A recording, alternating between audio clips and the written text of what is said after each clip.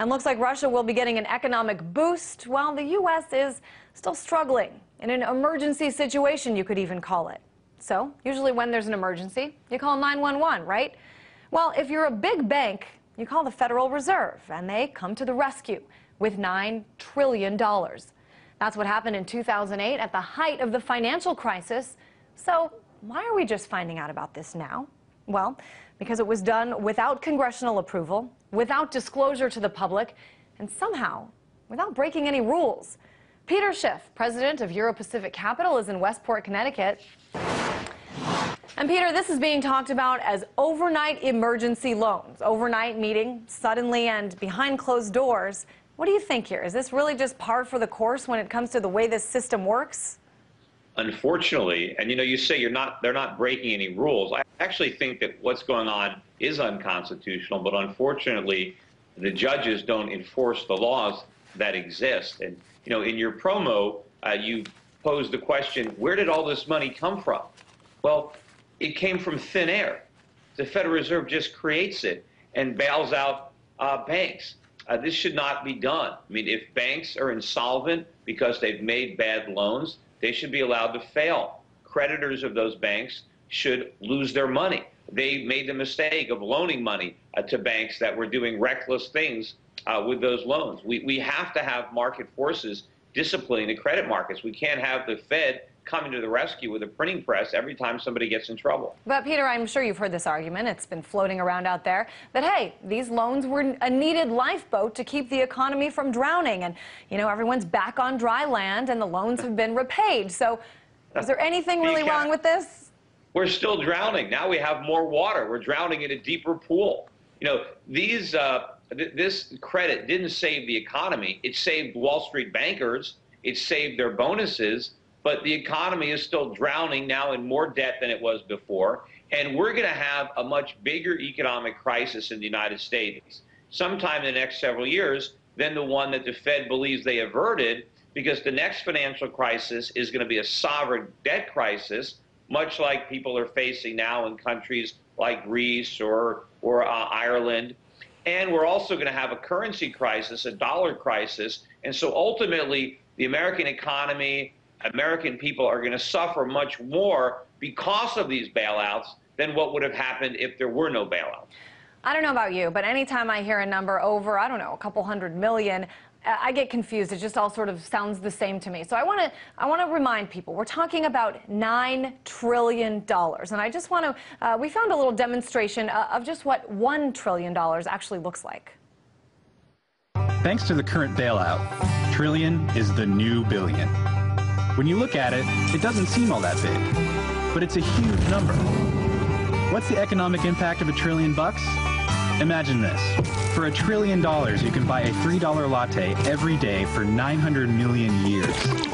A trillion dollars is greater than the Australian GDP. It's enough to buy up every stock on the Toronto Stock Exchange. With a trillion dollars, you can fund the militaries of all the NATO countries combined.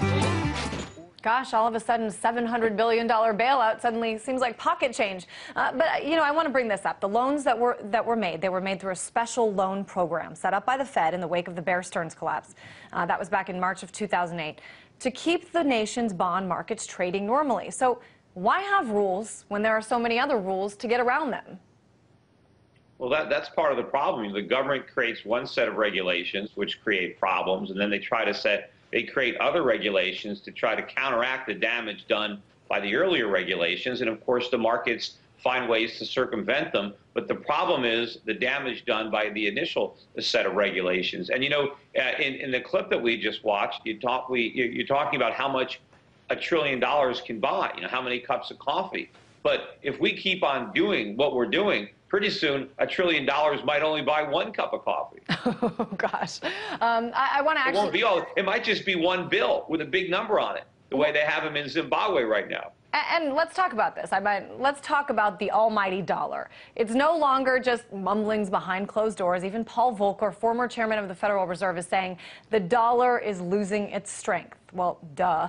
But that it could actually. I think it's lost its strength. it's not mighty anymore. Now, the reason it hasn't collapsed is because it's still on life support. It's still being propped up uh, by foreign central banks all around the world. If the dollar was still strong, it wouldn't need those supports. It could stand on its own legs, but it can't. Uh, but I, and it seems like a lot of other countries, though, are, are talking about abandoning the dollar. That that it's no longer going to be the benchmark anymore. Well, it, it, it won't. It's only a question of time. You know, just recently, if you're talking about Russia, Russia and China came to a trade agreement in which both nations decided that going forward, they will no longer invoice each other for their respective goods in U.S. dollars. That payments will flow between the two nations in rubles and RMB. And that's just another step away from the U.S. dollar. Certainly a huge step. I, I want to take a second now and contrast the, these loans, the information about these loans coming out.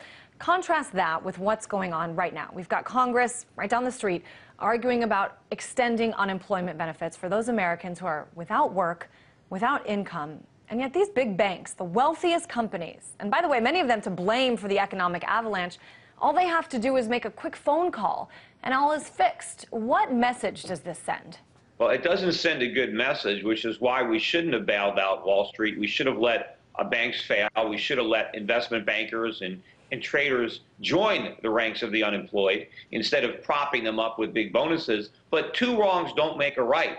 Just because we bailed out Wall Street doesn't mean we keep extending unemployment benefits in perpetuity because these unemployment benefits act as a barrier to jobs. Because when you make it very lucrative for people not to work, they prefer unemployment to work. And unfortunately, the jobs that are available right now in our economy are very low paying right now. And most people would rather get an unemployment check than work hard for low wages. And we have to stop that. Unfortunately, people need to return to work, even if it's not a very good job at the moment, because we need that productivity. And maybe if they take a low paying job now, uh, six months from now, a year or two, they'll be able to get a higher paying job. But if we keep subsidizing people to stay on unemployment, those higher paying jobs are never going to come back because we're going to destroy our economy before it happens. Certainly a lot of information coming out of these new reports, some shocking numbers. Peter Schiff, president of the Euro Pacific Capital.